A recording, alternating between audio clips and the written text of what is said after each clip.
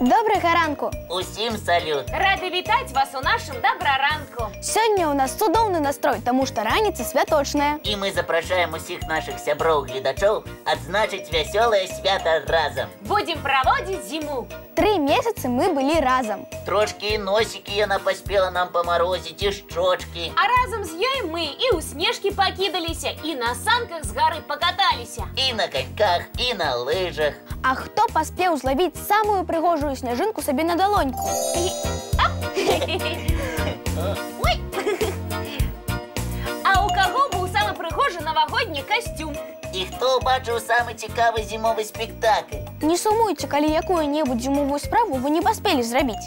Сёння ж апошні дзень зімы. Якраз заплануйце гэтую справу на сёння. Толькі давайте дамовімся, плануйце сабе адну зімовую справу. А то і калі іх будзе шмат, нічога не паспееце. Сябры, і абавязкова знайдзіце час, каб падрыхтавацца да сустрэчы вясны. Праверце, ці адрамантаваныя шпакоўні ў вашым двары.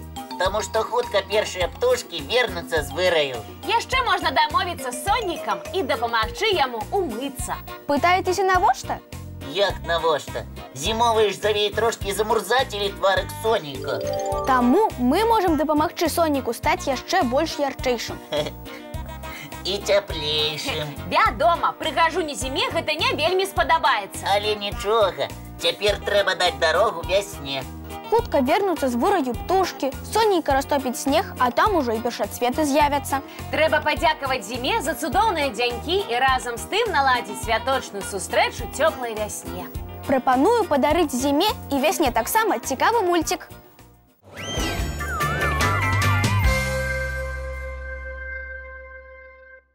А я вось подумала, што наступнай зімой хачу адправіцца ў кругасветнае падарожжа. Паліна, а навошта чакаць наступнай зімы? Можна і ў хуткім часе такое падарожжа запланаваць.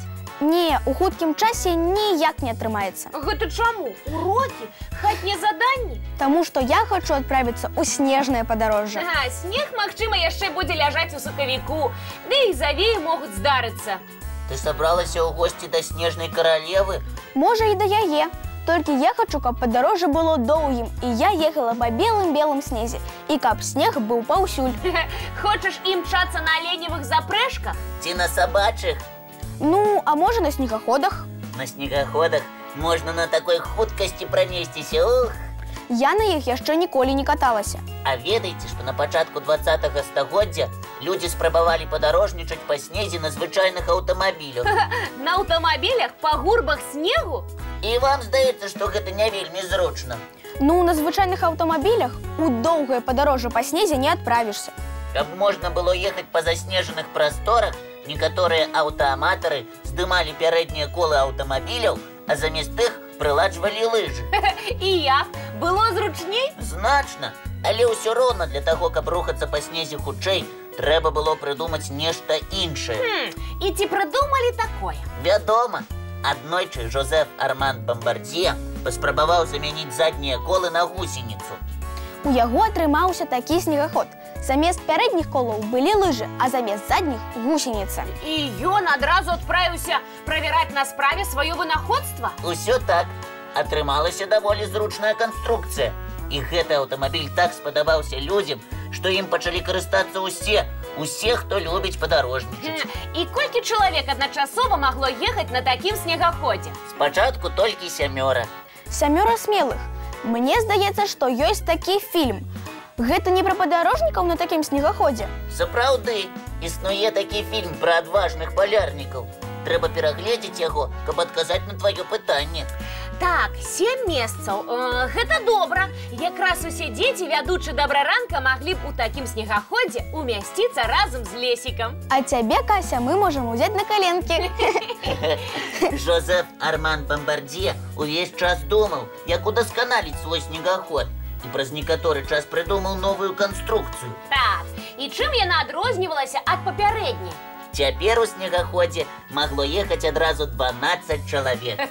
Гэта як у невялікім аўтобусе. І такія машыны вельмі спадабаліся жыхарам гарадоў са снежнай зімой. Сябры, а давайте трошки пафантазіруем. Як выглядае снегаход, на якім можна будзе падарожнічаць вакол свету? Можа, хтосьці захоча намаляваць такую цуда машыну. Але давайте будем маляваць пасля ўсіх заняткаў. А пакуль самы час паглядзець цікавы мультфільм.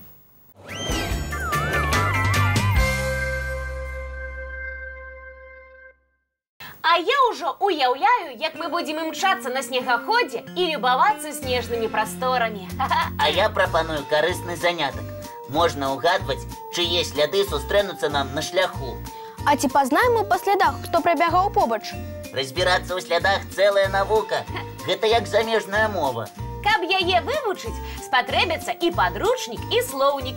Напрыклад, сляды якой жывёлы вельмі падобныя на адбітак босай нагі чалавека. Дай падказку, гэта вялікая жывёла ці маленькая. Даволі вялікая. А ў нас у Беларусі водзіцца Водзіцца, Не ведаю і нават не здагадваюся. а гэта мядзведь. Ух ты, ніколі б не падумала. А так і ёсць. Толькі на адбітку мядзведзя абавязкова будуць кіпцюры. Правільна, мядзведь жа драпежнік, а драпежнікаў без кіпцюроў не бывае. Гэта так. Але ёсць драпежнікі, у якіх сляды без адбіткаў кіпцюроў. І хто такія? Сябры, а вы ведаеце пра каго я? Ха, я не ведаю, і мне вельмі цікава. На слядах драпежнікаў сямейства каціных не знойдзеш кіпцюроў. Ха, як я люблю котикаў. Мяу. Нават калі яны драпежнікі, Усё роўна люблю. А цяпер падумайце, якую расліну індзейцы называлі следам белага чалавека. прапаную зараз паглядзець цікавы мульцік, а потым адказаць на пытанне лесіка.